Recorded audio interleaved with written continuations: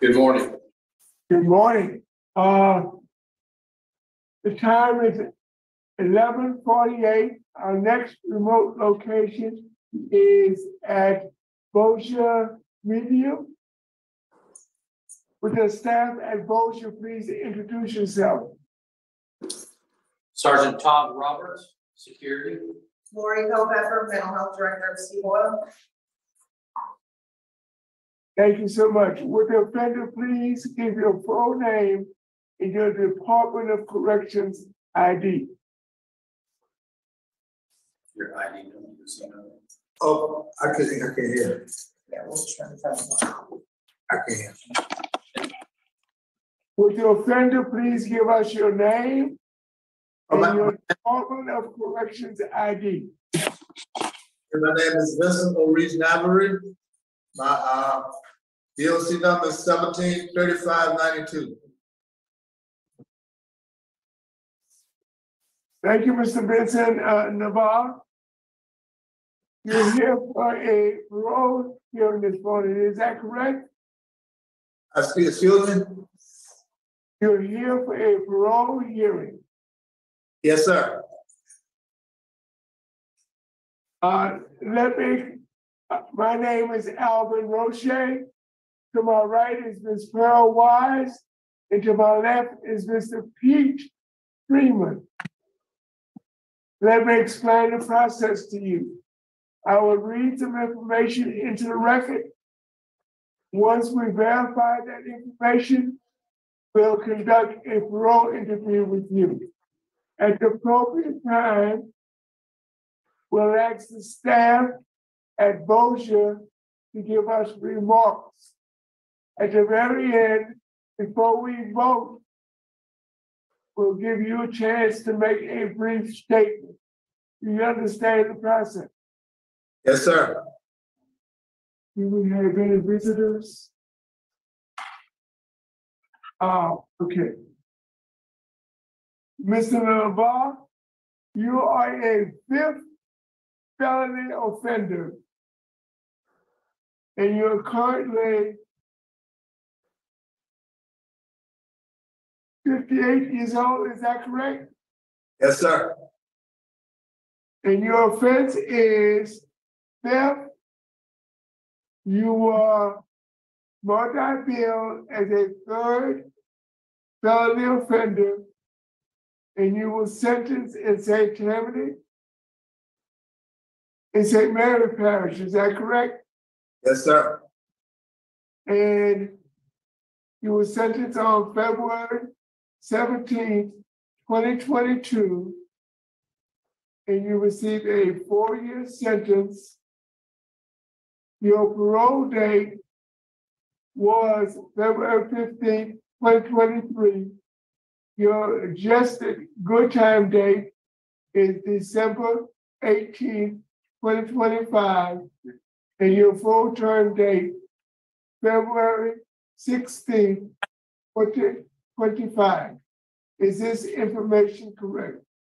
Yes, sir. Your case has been assigned to Mr. Freeman. Would you please answer Mr. Freeman's? question? Okay, Mr. Navarre, how old are you? Fifty-eight years old. What, what is your educational level? I, I graduated high school and I also went to the military for four years. US Navy. Were you discharged honorably? Yes, sir. Thank you for your service. Um, how many years have you served on this charge? Oh, I, I've been here a year and a few months. Okay, so that's all you've been in jail on this charge is a year and a few months? Yes, sir. Okay. I had more over here. Um. Yeah, that's right. Okay, Mr. Navarre, um.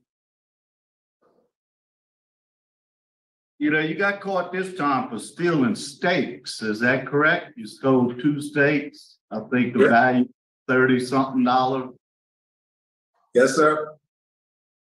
Okay, um. Were you gonna sell these steaks for drugs or were you gonna eat them? I was gonna eat them. Okay. Um, were you working at the time of your arrest? Yes, sir, I was. Where were you working? I, I, well, I do, uh, like maintenance work. I, I have a boss man, his name is Bruce Revere. Me and him like work side by side together. Okay. If you were to happen to make parole today, would you go back to work with them? Yes, sir. And he's promised to keep your job? Yes, sir. Approximately how much does he pay you? Well, it says, the, the work varies during the season, but I make at least about hundred twenty-five dollars per day, whatever we work. Well, that's pretty good. Why you had to steal the steaks? You couldn't buy 'em? I, that, that is a question that's, I beat myself up with every day. All right, uh, so it, it looks like you have a, a, a drug or alcohol problem. Which one do you have? Drug or alcohol or both? Alcohol, and I also do drugs. Okay, when's the last time you did drugs? Oh, that was before I come to jail, like about, I don't know, about, about two, two, three days before I came to jail. Okay, what's your drug of choice? Cocaine, Okay, how long you been, uh, using cocaine? What age you think you started? uh. Like Just about, I'm gonna say like about 30, 30 years old.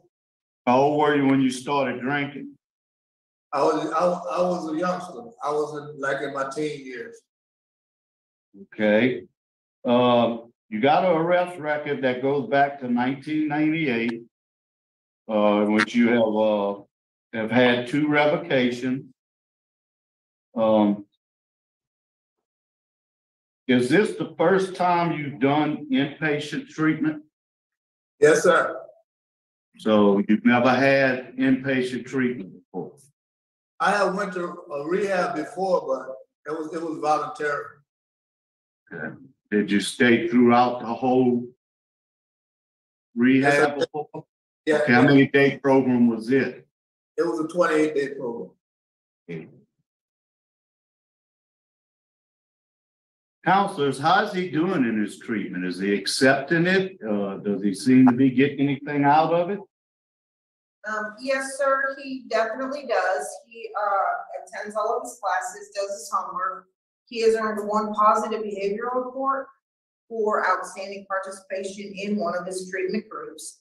Um, he's unsure about doing, or receiving a Vivitrol injection to help with alcohol use, but he, he does listen to, um, the benefits of it and he is considering it. Um, you know, you, you, community attitude, uh, and of course, there's nothing you can do about that. And it's mainly because you're offender class. You got opposition from the sheriff, the DA. No comment from the chief. Uh, your family's unopposed, Alberta Navarre. Uh. She's, then she's gonna have a place for you to stay. What is gonna be your sobriety plan get out? How would you stay off of drugs and alcohol? See, this would be the first time I ever got out of jail that I got inside my head that I would not do drugs or alcohol again.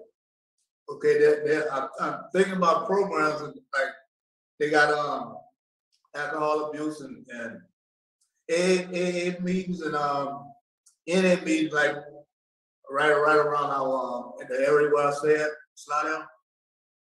It's, it's within walking distance from my house.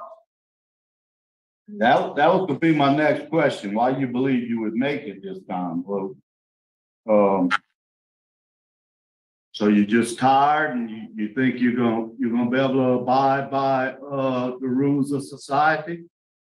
Yes, sir. It- I, I got to, the to the point where I, I realized it's, it's not worth it. I wasted a lot of my life doing something like shoplifting, which is, is uncalled for. I can't do it no more. Yeah, you got a bunch of minor offenses, but there's so many of them. Um. Let's see, classes, uh, you've taken a, a few classes. Um, what class you think you got the most out of? What, uh, which one you learned the most from? Is it this, uh, inpatient treatment? Okay, well, see, I pay attention in all my classes and, um, I, I, I learned, I- learned a lot by dealing with, um, they taught me a lot of things that I didn't recognize at first while I was free. But I, I'm able to, to, to grasp that now, and I, I plan on, like, applying that when I get out of here. You know, I, I learned about, um, like triggers and, and, uh, a whole bunch of things, like risk factors, that, that things that I wasn't aware of before. And I plan on using that when I get out of here. Ma'am, uh, the program, is he gonna, on schedule to complete it in August? Yes, sir, he's still scheduled to complete August twenty-fifth. Um, your risk is moderate, moderate, your need is moderate. Uh, staff, have y'all had any disciplinary problems since he's been there? No, sir, we haven't had any issues, so with them at all. I have no further questions. Ms. Wise, Yes, uh, Mr. Benson, uh, in your, uh, with that fifty-six years of living, how long would you say you've been in jail? How, how much of that ti- years spent in jail? If you had to add it all up? Uh, I'm Yeah. gonna, I wanna say like about maybe seven, or eight, maybe all together. Okay, about eight years altogether. And some, some of those were like for dealing with child support. Okay. Okay, uh, what would be your, uh, your release plan? How would you support yourself? Oh, I will go to work. I still got a job out there. waiting for. And I, you know, I'm gonna live with my mom. I'm, you know, mom about gonna be eighty-five in, in August, so I'm gonna do a lot of, lot of errands for her and, you know, doing things around the house, you know, things I've never done before. I was too busy doing other things. Uh-huh, okay, you will go back with the man working, working odd jobs. Uh, do you have trades? What, what do you know how to do? I'm a carpenter. Okay.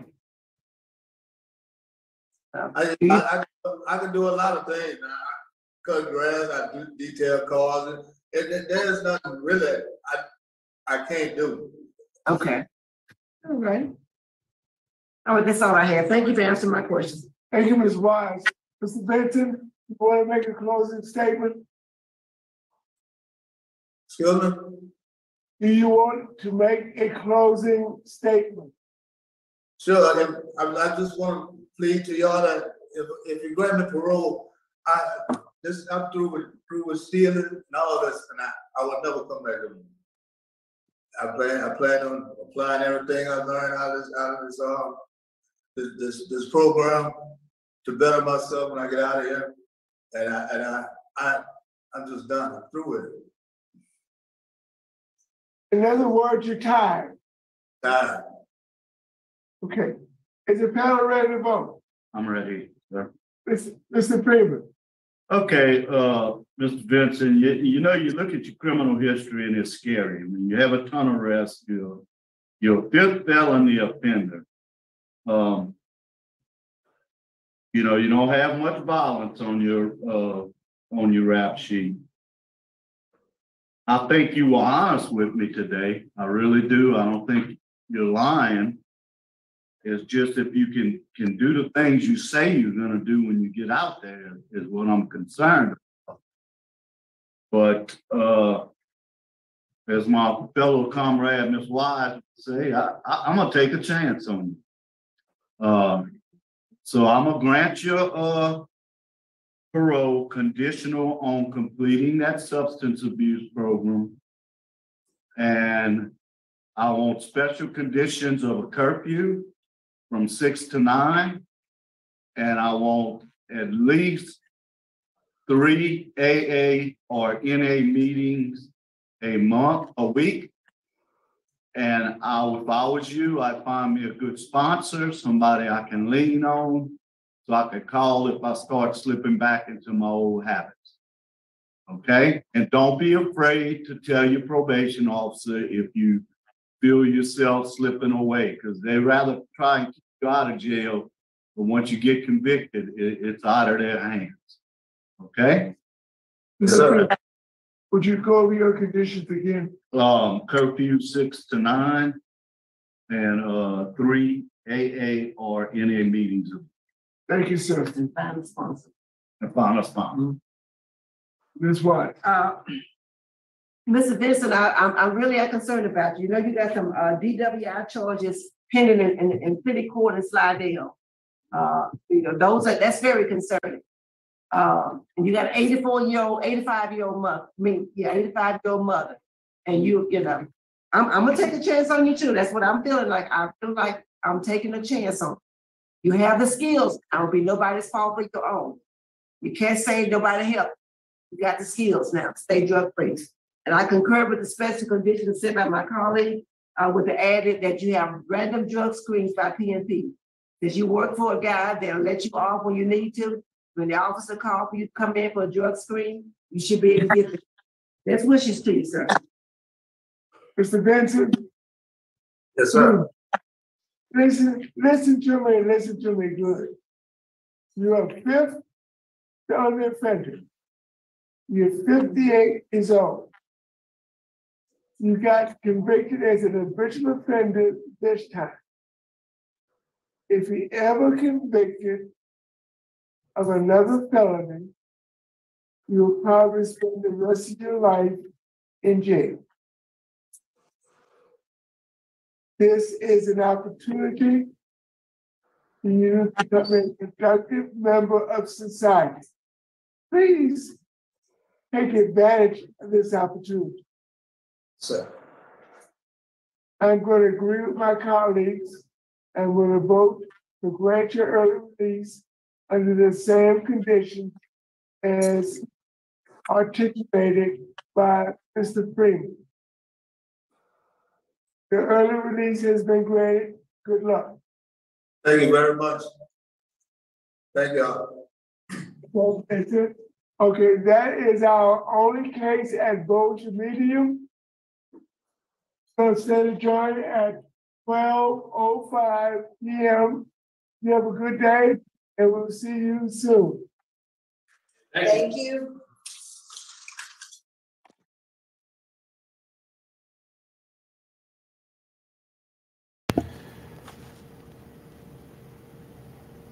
If he was really stole those two steaks to eat them, my heart goes out to that man. We saw someone else get locked up for stealing lobster, and it ended up being like $800 a lobster, and he claimed that he threw it out and didn't know what it was worth. And some of you commented, "He, you're too naive, Mandoo." He knew what you know he sold them for some rocks. Now the board seemed to believe him that when he said he took them to eat them he also admits to being an addict and they think he's an addict going to 3 aa a, a week. And i mean he has his long history of crime because of it i assume. No violence in his history and I'm all for letting him go. And, and I, I think they set up the safeguards that they that they want to help him make sure he doesn't come back because he can go away for life. But for me, there's nothing. It, the you know if you want to say that he he was hungry and he took those steaks so he could eat them and I know that there's a lot of problems with with the petty theft and the cost that it takes on the the toll that it takes on society. And you see what's happening in these cities that are light on crime. You know, new york is the first example that comes to mind.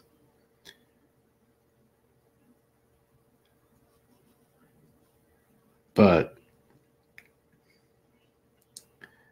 to spend all that time in jail and i get it that he's an habitual offender and and revocation and all that stuff, but just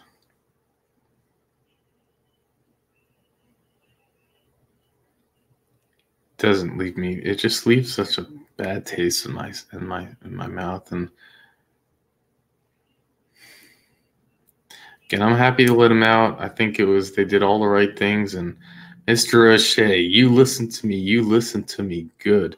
You know that it's serious when Mr. O'Shea steps in and says that. You better listen up. Is he just tired? Is he just not? Is he has he had enough, or is he gonna get tripped up and end up with another charge? And yeah, he could get habitual. He could get. That could be it.